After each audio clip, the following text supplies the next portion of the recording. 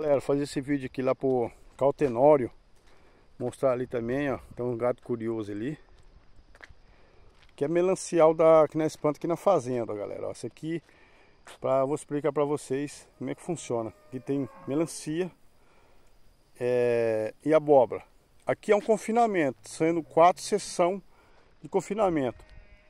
Aqui é o coxo, onde faz o trato do gado. Ó, Porém, agora, nós não, não, não o confinamento está com dois meses que, nós, que parou, mas não parou assim, ó.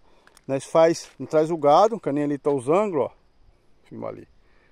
Tá, tá, olha lá, a fazenda que trabalha com confinamento de ângulo. Orientar os ângulos, o que que nós faz? Faz quatro meses de confinamento do, do gado precoce. Aí acaba a silagem, que aí Aí não tem silagem, acaba silagem também é uma programação única. Quatro meses, entregou o gado, vendeu o gado, aí, aí né, volta agora, o ano que vem, ou, ou daqui um mês e meio, um mês no máximo, já tem a colheita do milho, né? Volta de novo aqui no, no confinamento. E aí nós aproveitamos o confinamento quando ele está vazio, Aí né, é, para nós plantar abóbora, melancia, etc. Né?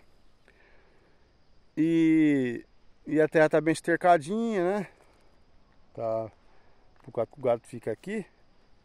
Então aí nós aproveita e faz essa plantação aí, ó. Né, de melancia e abóbora. Aí nós escolhe, isso aqui isso é pro gasto da fazenda, aí nós escolhe aqui certinho, usa tranquilo.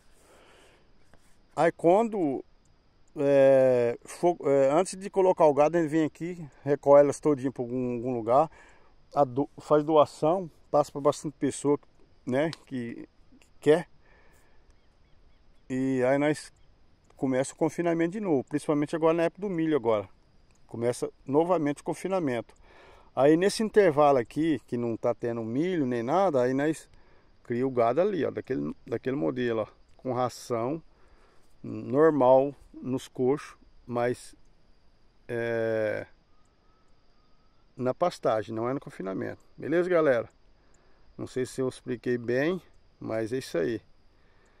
É, um vídeo pro Cotenor, daí ele dá esse curte, comenta, compartilhe e até o próximo vídeo.